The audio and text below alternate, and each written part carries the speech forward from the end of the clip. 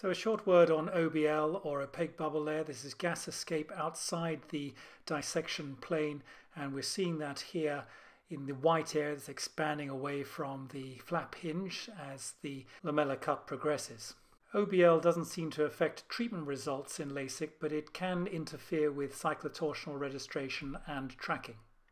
So many of us use the spatula compression technique, which I'm going to show you here, I first saw presented by Colman Kraff from Chicago in Paris over 10 years ago. So we're breaking into the dissection plane there and immediately wiping away some of the gas that's escaped into the residual stromal bed, making sure the epithelium is well lubricated to minimize any epithelial trauma during the spatula pass, which we're seeing here, and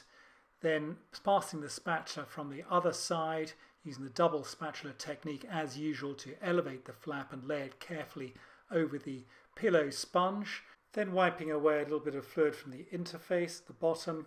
before we clean the spatula and then come back to rub quite firmly over the area of OBL and iron the gas out of the residual stromal bed, in particular clearing over the pupil area so we're getting a good clean lock on with the excimer laser tracker in the subsequent ablation. So we're going to complete that pass right across the superior bed there, ironing out the OBL until that residual stromal bed is looking reasonably clear.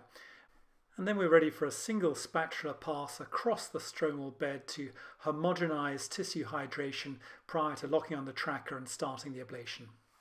And there we are at the end of surgery ironing out the fluid from the interface with the semi-dry sponge technique that we've shown you in the flap handling video. You can reduce OBL by minimizing applanation pressure and modulating treatment parameters, and it's increasingly a problem that's being engineered out of modern femtolaser systems. But when OBL does occur, this is a useful strategy for minimizing any associated problems.